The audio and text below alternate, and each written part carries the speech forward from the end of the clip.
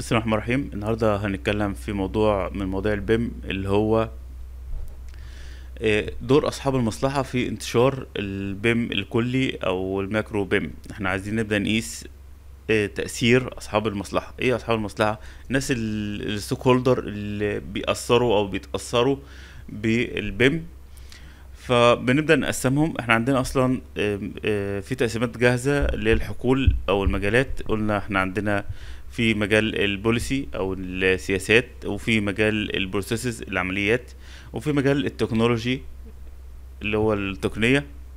فإحنا هنبدأ نقسمهم بنفس التقسيمة دي وهنمشي على نفس التقسيمة ديت. والموضوع المجال التكنولوجيا إحنا بنتكلم على كل اللاعبين المشاركين في تطوير وصيانة ال software والبرمجيات الأجهزة أنظمة الشبكات. آه يعني ده جزء ال- ال technology. زي مثلا آه، ال- البرمجيات زي ArchiCAD زي ال Revit زي Navisworks وهكذا.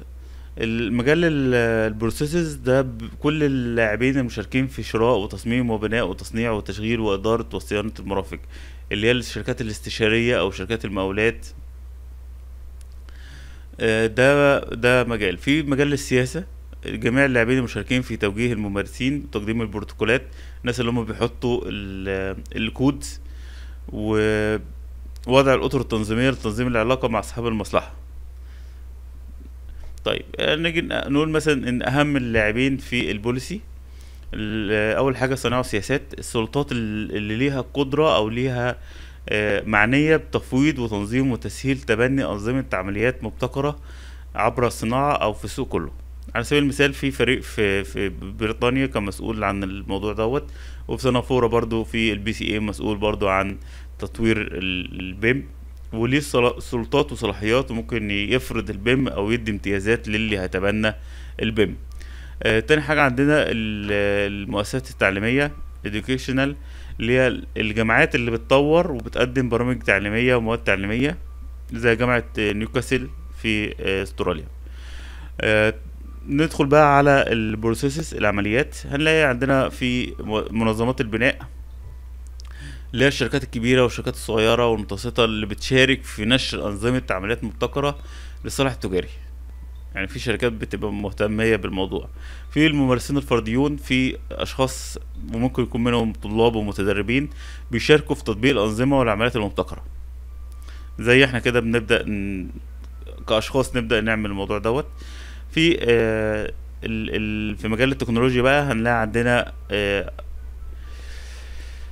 مطوروا التكنولوجيا الناس اللي هي بتعمل software جديد زي شركة آه، Autodesk زي شركة ليسيا زي في شركات بتبدأ تعمل حلول برمجيات وأجهزة وفي مقدمي مقدمي الخدمات التكنولوجية الشركات التجارية اللي بتسد فجوة الخدمة وبتبيع ال- التكنولوجيا بتاخدها من مزودات التكنولوجيا وتبيعها للمستخدم النهائي تمام؟ آه بعد كده في عندنا آه رقم سبعة. ده ده حاجة مشتركة بين ال policy وال processes اللي هي الجمعيات الصناعية. الجمعيات بتمثل مصالح أعضاء المنظمة وبتهتم بموضوع إنها تحط القواعد. فهي حاجة مشتركة بين الناس اللي شغالة فعلا بإيديها عشان تعمل آه، مخططات لمباني البروسيس ده الناس اللي هي الاستشاريين والمقاولين اللي بيعملوا لنا أو إحنا بنعمل إحنا شغالين في المجال دوت بنقدم آه، اللوح. ففي منظمات بتهتم بتبقى جزء من ال processes وفي نفس الوقت بتبقى تهتم بإنها تحط ال- السياسات.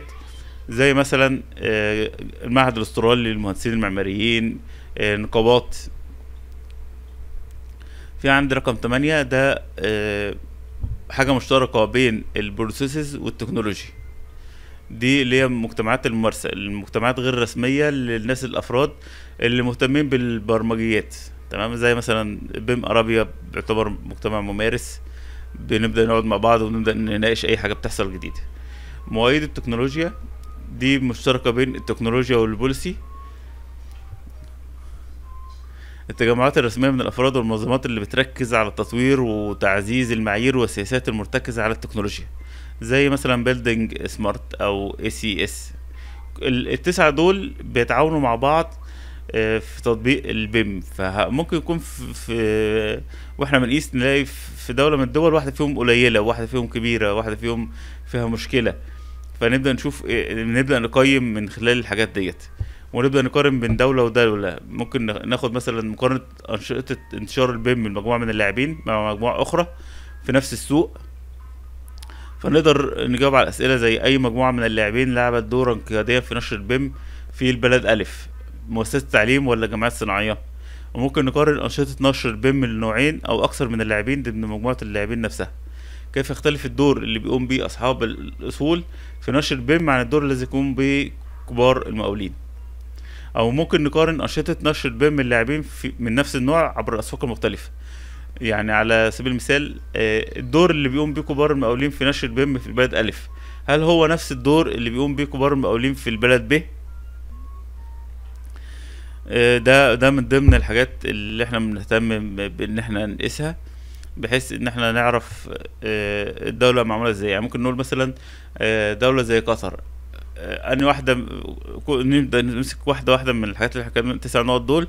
هنديله A ولا B ولا C؟ هل هو الراجل ده قايم بدور كويس ولا في مشكلة ولا ولا مش موجود أصلا؟ والبلد B نبدأ نقارن مثلا بين قطر ومصر أو قطر والإمارات أو قطر والكويت نبدأ نقارن بين الدول ونبدأ نشوف دور كل واحدة من دول هل هو في آه، عجز ولا هو قام بالدور بتاعه هل هو دور قائد بيساعد على بدء التطوير والمحافظة على نشر ال- ال- الفكر ولا دور داعم ولا هو دور مشارك ولا ملوش دور أصلا دور أرضي؟ والسلام عليكم.